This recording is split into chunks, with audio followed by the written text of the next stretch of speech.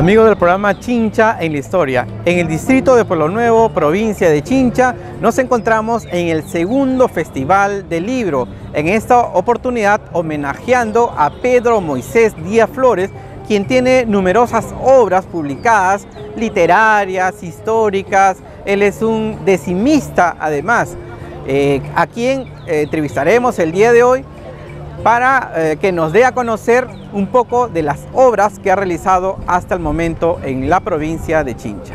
Para el programa Chincha en la Historia.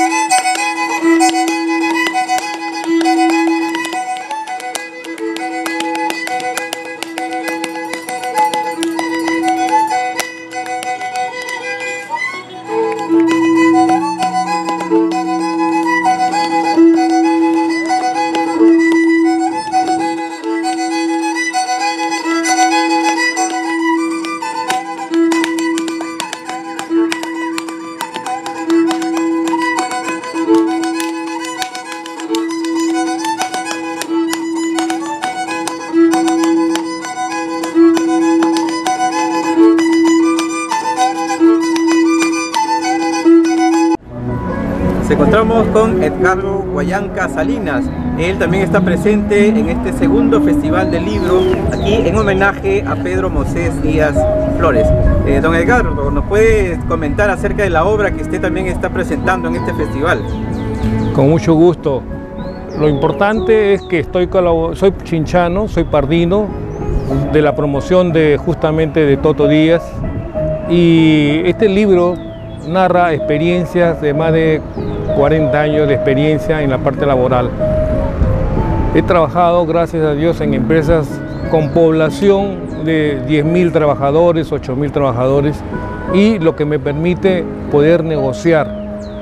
El título de mi primer libro se llama El factor ausente, que es el factor humano que falta en las empresas. Se, olvidan de que el trabajador es lo más importante en una organización, que el trabajador es la piedra angular. Sin trabajador no hay empresa.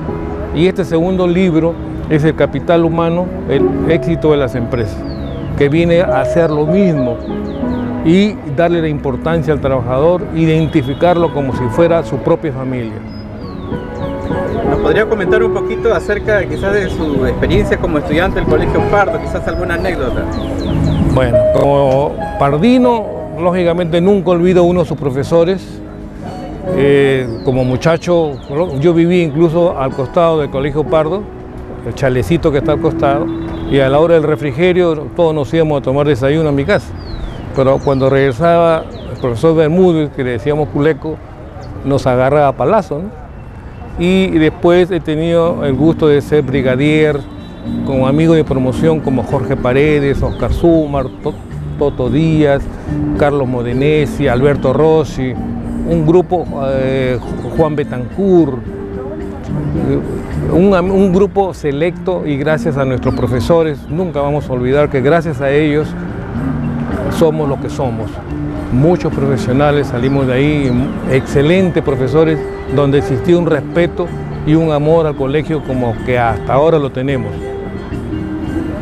Don Edgardo, ¿y qué opina eh, sobre este homenaje que está, se está realizando a intelectuales chinchanos?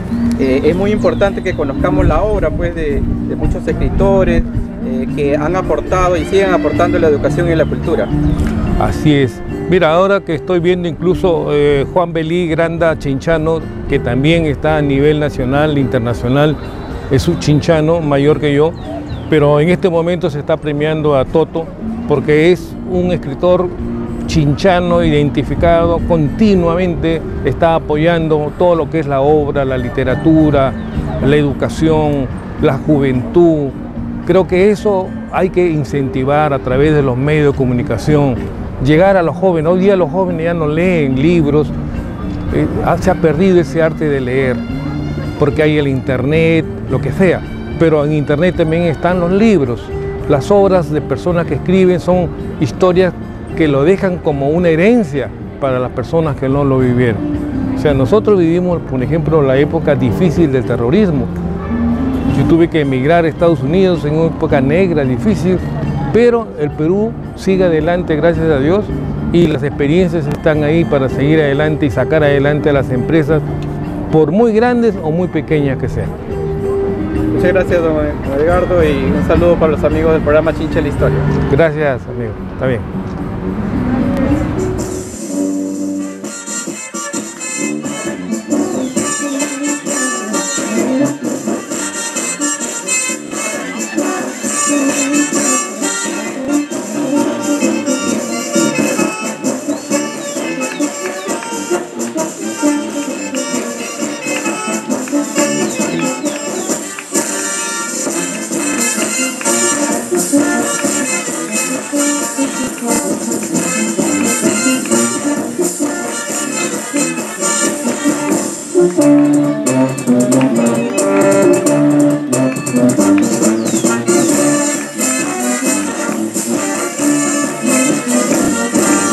Mm-hmm.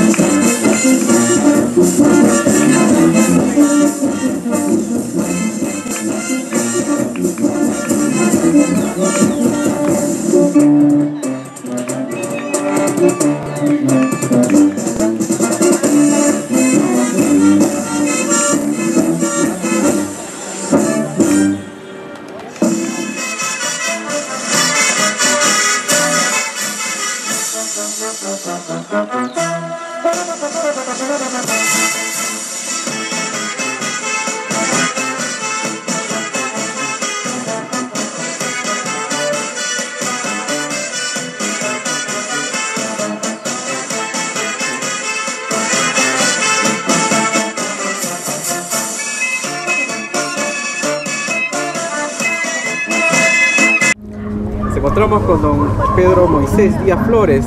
Él es homenajeado el día de hoy en el segundo Festival Regional del Libro aquí en el distrito de Polo Nuevo.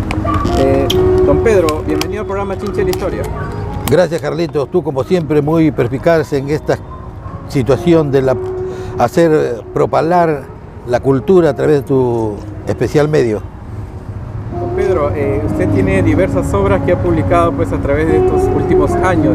Eh, quisiera que nos dé a conocer cada una de ellas para conocimiento del público, de los estudiantes, especialmente en la provincia de Chincha. El primer libro que he eh, editado son los este, Telúricas Dicciones, en una extensión de 2.500 libros que son los únicos que, me quedan de muestra, y son de cuentos, eh, artículos periodísticos, historia de Chincha, hay varias cosas interesantes que para la juventud estudiosa, para la niñez, le puede servir sobremanera.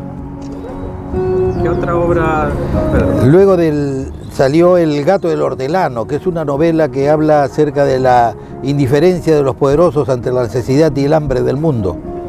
Es eh, una novela muy especial porque, como dijera mi gran amigo y crítico literario Nicanor Apolay Almeida, tiene una duplicidad de, enfoques a través de, del trayecto de las escenas de cada uno de los capítulos, entreverando lo que es el presente con, con el pasado.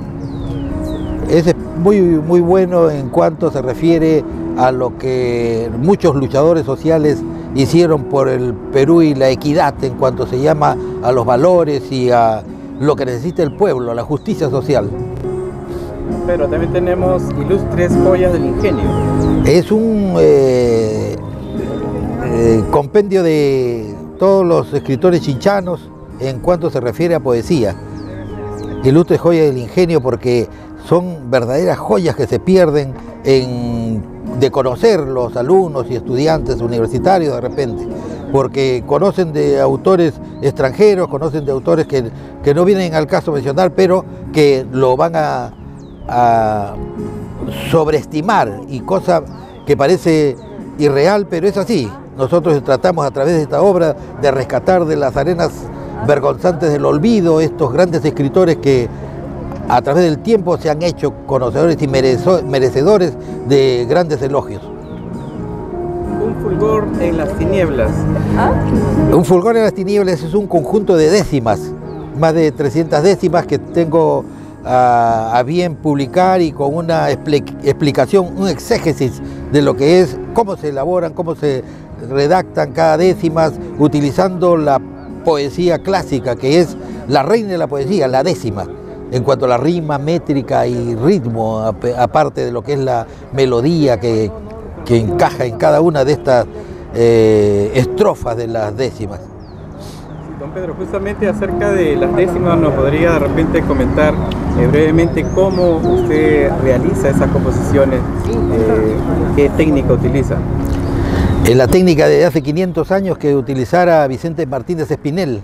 Es eh, infallable, ¿no? Todo decimista siempre repite lo que es esa fórmula de A, B, B, A, A, C, C, D, D, C es la fórmula que va a repetirse a través de todos los ponentes de la décima desde hace 500 años. Vicente Martínez de Pinel fue el que venciendo en concursos de esa época a los más grandes, Lope de Vega, Cervantes, Tirso de Molina, los grandes de la literatura, de la edad de oro de la literatura española, fueron dejados de lado gracias al arte y la fórmula que se impuso, que fue la de Vicente Martínez Espinel, y de allí es que se denominan las décimas espinelas. Pedro, ¿cuántas décimas ha usted creado? Bueno, hasta ahora en la actualidad sigo haciendo una o dos décimas en cuanto a cuatro estrofas diarias, ¿no?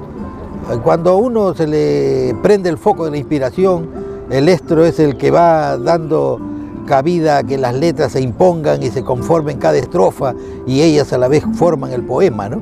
Y al menos eh, participo en varios grupos de, poesía, de literatura, que me felicitan por esta eh, elucubración, por esa eh, especial didáctica que hay, porque son décimas de enseñanza. ¿Algunas décimas que usted recuerde? ¿Qué títulos, por ejemplo?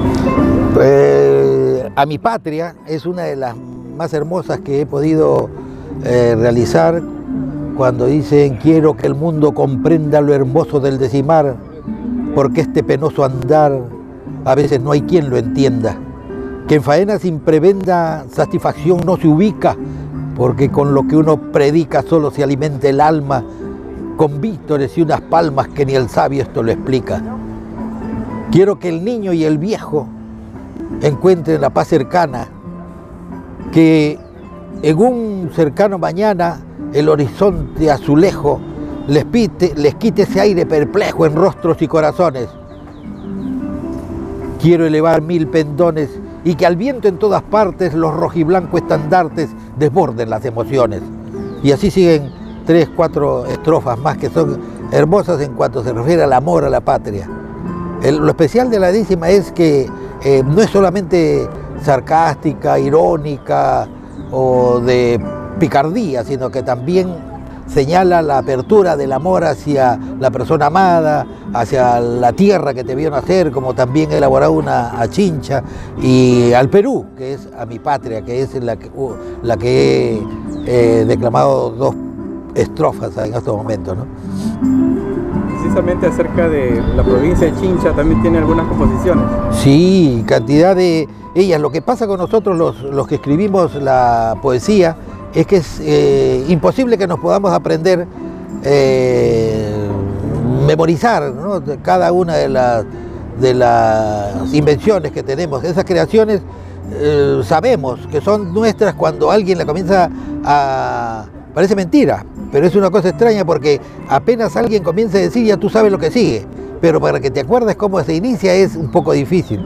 De eso son es un arte especial, el don que tiene eh, Daniel Rubén Valenzuela Román o, Antonio Silva García, es una cosa pero excepcional, porque ellos tienen en su mente, en su alma, la décima tan metida que en el momento que quieren se meten a un contrapunto y eh, enaltecen ¿no? lo que es esta poesía, la reina de la poesía, que es la décima. Pedro, ¿y cómo hace usted para poder componer? ¿Apenas le llega la inspiración, anota en algún cuaderno, en una hojita? La única que me quita mi inspiración es mi señora porque me corta la inspiración. Me dice, anda barre, anda lava. Mentira, ¿no? Es decir, este, ella más mi crítica del arte, ¿no? Siempre que me dice esto, parece que esto es así, así, y ahí voy yo avanzando. Lo importante es que siempre hay una persona que te tiene que ¿no? ir apoyando en lo que es la centrar bien esto que tú haces de primera intención. Es como una estructura eh, de una casa que levantas y tienes que darle una buena bañada a la pared de cemento para que salga exacta así es, el final siempre es una elaboración, una, una práctica constante que tenemos de utilizar pues esto que se llama la verdadera eh, poesía clásica, ¿no? La poesía clásica se refiere a que tenga métrica, rima y ritmo. Cuando nosotros hablamos de métrica es la medida que tiene cada verso, ocho octosílabos tiene que ser. Cuando hablamos de rima tiene que ser esa fórmula milagrosa que inventó eh, Espinel y que dice A, B, B, A, A. Te cambiaste la chancleta, esta por zapato taco, aguja, aguja, y tu cabeza de bruja, aguja, la amarraste con peineta, esta, por no engordar sigues dieta. Ahí está, A, B, B, A, A.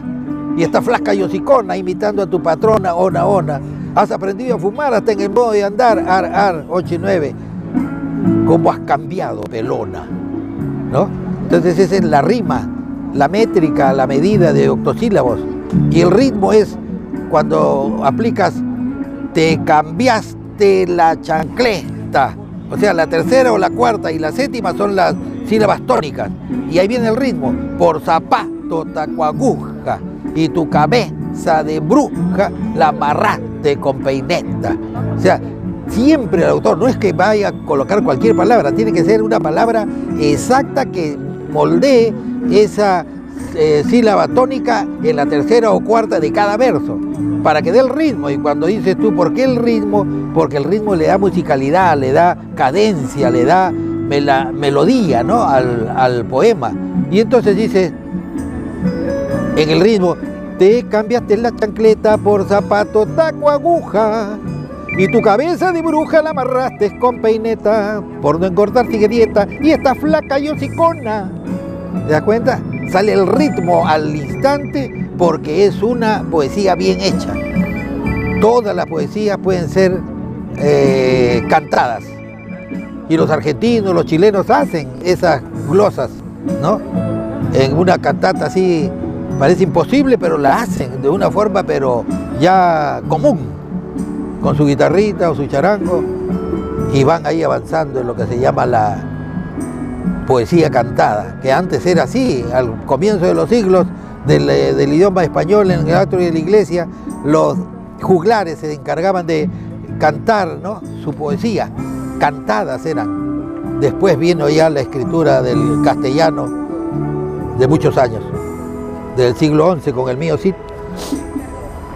Pedro, ¿a qué edad usted inició eh, etapa de escritor y de repente algún profesor, alguna persona lo motivó a que iniciara en este arte? Claro, he tenido la, el orgullo, el honor de contar con uno de los más grandes eh, planteles en el Pardo de poetas, escritores como Luis Cane Papacha, eh, Rubén Martínez Puicón, Antonio Galvez Roncero, entre otros, ¿no? Del Pardo ha sido un eh, colegio excepcional para mí, porque en ese entonces se aglutinaron una eh, playa de, profesorado, una, un plantel pero excepcional de muy buenos profesores. Hasta el momento son conocidos, reconocidos como uno de los más grandes escritores, Antonio Galvez Roncero, a la altura de Julio Ramón Ribeiro,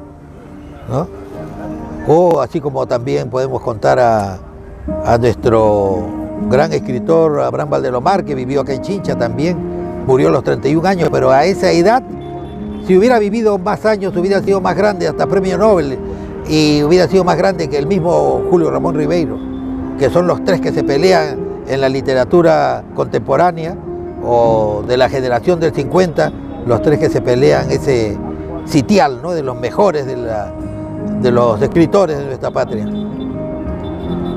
Pedro, están realizando diversas actividades culturales ANEA, Chincha y ANEA Ica también. ¿Como cuáles han realizado en estos últimos años?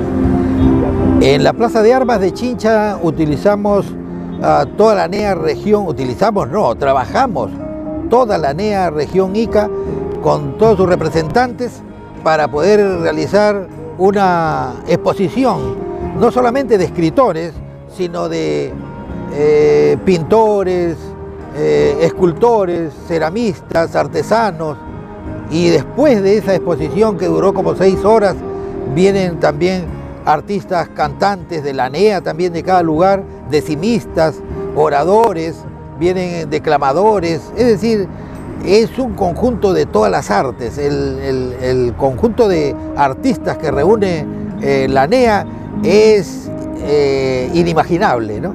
Por eso es que le solicito públicamente acá a mi gran amigo José Luis para que se atreva al reto de pertenecer a la NEA para que pueda dirigir los pasos, porque nosotros ya somos aves de paso.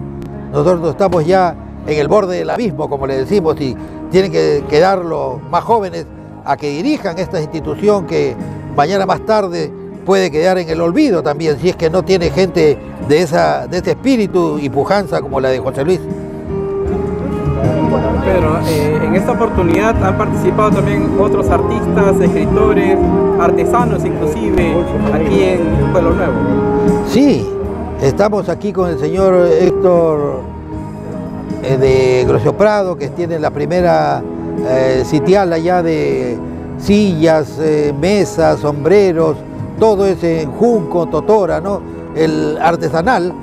La NEA tiene un, una invitación internacional del de, el estado de Guerrero en México y este año en noviembre estamos viajando con 15 representantes de ICA hacia México en un intercambio intercultural para poder exponer todo nuestro arte, desde escritores, pintores, ceramistas, escultores, artesanos. Estamos nosotros yendo a, a nivel internacional ya. En Ecuador también en agosto estamos presentes. El año pasado hemos participado a nivel internacional también en, en México. Es decir, estamos haciendo una labor que muy, antes nos parecía imposible, ahora ya la estamos realizando. ¿Cómo se siente don Pedro con este homenaje que le están rindiendo? Bueno, emocionado, con bastante eh, orgullo de que haya tanta gente que que puede reunirse en este arte o en este aspecto cultural para poder reconocer a un humilde representante de la escritura o de la cultura de Chincha y poder decirles que no es nada fácil, pero tampoco es tan difícil, porque según lo que uno quiere lo consigue y todo, todo consiste en tratar de hacerlo, tratar de llegar. Pedro, finalmente quizás a la juventud eh, y a la población chinchana para seguir promoviendo pues eh, la educación y la cultura aquí en la provincia y en la región Ica? Creo, gracias a ti, Carletos, que eh, haces llegar todo este aspecto cultural a toda tu audiencia y espero que comprenda todo el pueblo chinchano y la región Ica que, y, a, nivel nacional, a donde llega el medio, para que puedan entender que nuestro afán es pura y llanamente cultural. No existe otro afán. Nosotros somos una institución sin fines de lucro y, y valemos por lo que demostramos. Y demostramos siempre a través de nuestros pasos, la cultura está por delante de todo. Muchas gracias, don Pedro, y felicitaciones. Gracias a ti, Carlitos. Ha sido un gusto.